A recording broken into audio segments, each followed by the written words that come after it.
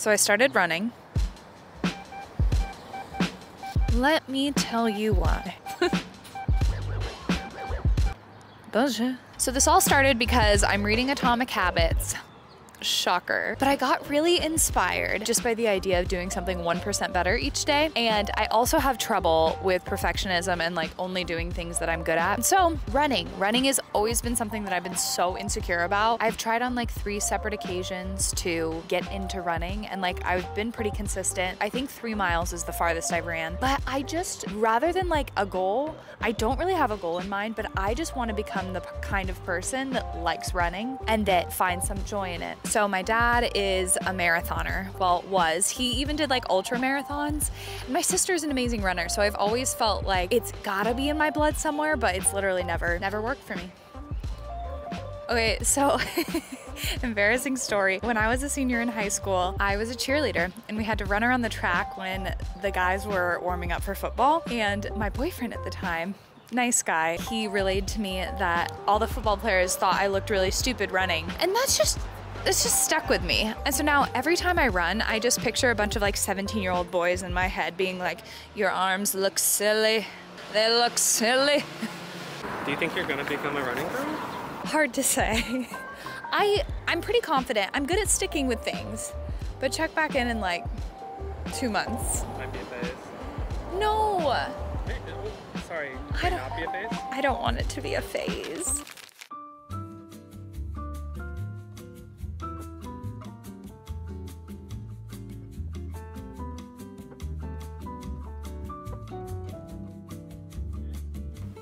All right, you need a third a cup of peanut butter. I'm just gonna eyeball this because it's so hard to get that out of there. Want two tablespoons of rice vinegar.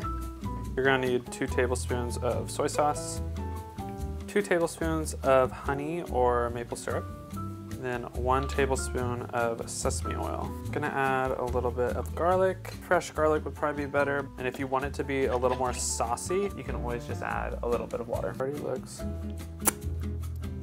Mmm. Let's get started making these rice paper wraps. You're gonna need to get a plate and put some cold water on it. Wait, is it cold water or warm water? Warm. Warm. That makes more sense. Bless you. And don't sneeze into the water. I saw a little trick that you're supposed to add a little bit of salt to this. I think it's kind of like salting your pasta water. Yeah, we just got these rice paper wraps off of Amazon, so they're pretty easy to find. What we have found that works best is, since we're frying them in the pan, is to do to use two rice papers for one rice paper wrap. Let's get our station ready to go. Step one, put your rice paper into the warm water. You need to keep them in there for about 60 seconds until they get soft. And you're just gonna layer them on top of each other. Add as much as you would like. Voila. First one's done. We're gonna put it in the pan. And now we're just gonna do that on repeat. This recipe is definitely a labor of love, but it's really not too difficult. I think it looks more difficult than it really is. The first time we made these, I think it sounded a little daunting, but we don't make these all the time, but again, a good recipe for getting use of a lot of ingredients if you have a lot of things in your fridge that you are trying to get rid of.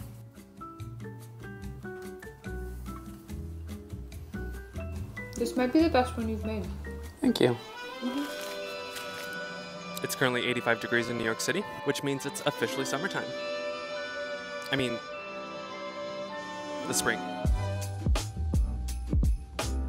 I thought I would share some spring facts for you. Yeah, I already read this one. Children grow more during spring. Honestly, can we talk about that for a second? Because I've never heard that before, and that actually kind of baffles me. One, because like children are born mm, all days of the year, and so for them to all of a sudden grow specifically in the spring just seems pretty wild, doesn't it? So I am curious if someone can fact check that, if that is fact or cat. More phone calls are made on Mother's Day than any other time of the year. Oh, that's very interesting.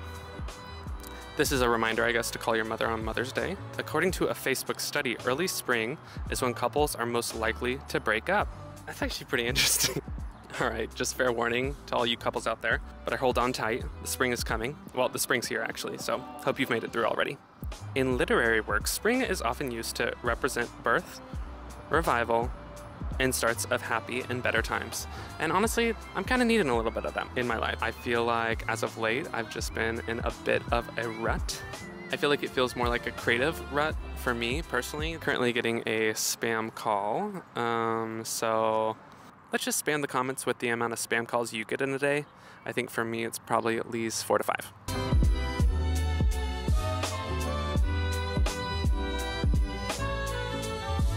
Yeah, Lucy and I are flying out to Seattle tomorrow because Lucy actually has another callback. This is a different theater than we mentioned previously, which I think we mentioned this on the vlog or maybe through a short or something. Yeah, so we're going back to Lucy's hometown, but we're actually going from Seattle to California and there's gonna be a lot of traveling these next couple of weeks. So we'll bring you all along for all the travel plans that we have coming up. So essentially we need to pack up, we need to get this whole place ready to be gone for about two weeks. Is it two weeks, Lou? Three.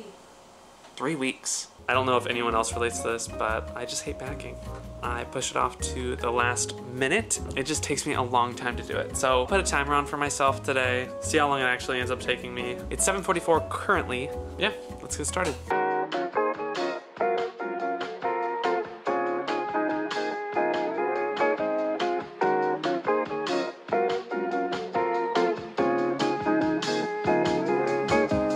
Okay, so this will definitely be one of those packing trips that uh, we are just packing all of our laundry to get done. The dirty laundry. It's getting warm, y'all. It's getting sweating. warm. Sweaty. Oh no, I didn't mean in the room, but I guess in the room as well. I meant it's gonna be warm where we're going.